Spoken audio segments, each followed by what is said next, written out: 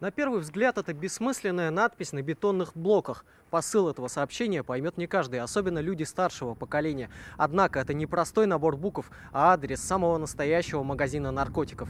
Купить себе отраву может любой улан-удэнец. Был бы мобильный телефон, да интернет.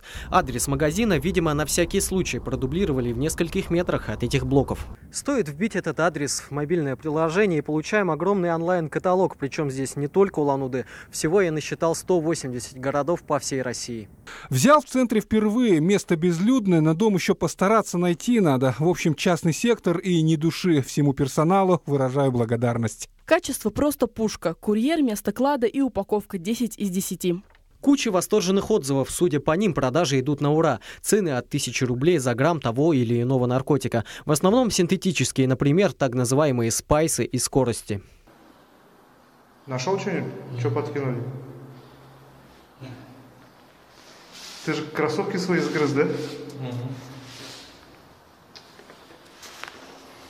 Последствия от употребления наркотиков, казалось бы, известны всем, но армия зависимых только растет. От приема синтетики у людей нередко искажается сознание, и они причиняют вред и себе, и окружающим. Бывший наркоман Антон анонимно рассказал нам о своем прошлом. Чтобы уйти в завязку, ему пришлось обрубить все контакты и не выходить из дома в течение месяца. Непосредственно, когда ты употребляешь, да, когда тебя еще тянет, да, вот там уже начинается, как бы, не знаю, ад на земле.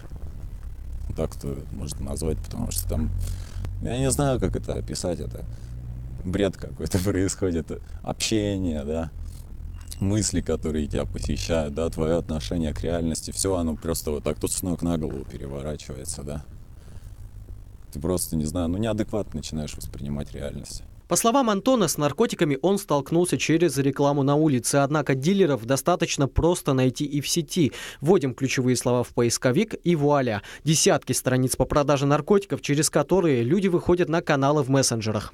Схема покупки-продажи проста. Между звеном от покупателя до продавца всегда есть люди, именуемые закладчиками. Закладчик прячет товар в укромное место, фотографирует, и отправляет адрес с инструкцией. Продавец пересылает всю информацию покупателю, после чего человек спокойно забирает закладку. В этой схеме все максимально безопасно и анонимно для наркодилеров, поскольку никто не знает ни лиц, ни имен, ни любых других контактных данных.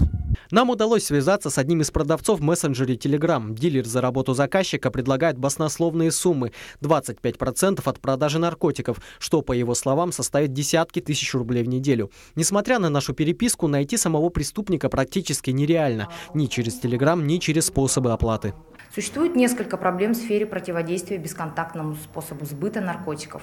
Одной из них является фактическая бесконтрольность финансовых институтов за электронными платежами. Для заведения одного или нескольких электронных кошельков не требуется никакого документального подтверждения личности, в то время как для приобретения банковской карты необходимо открытие счета соответствующей идентификации личности. Суть в том, что вот ты закладками поднимаешь, да, вот и также вот эти вот курьеры, которые, они просто большое количество берут разом. Все и сами уже раскладывают. И сами вот эти, которые сюда в город завозят, их, ну, не знаю, как их вычислять. Их бы вычислили, если бы можно было, да?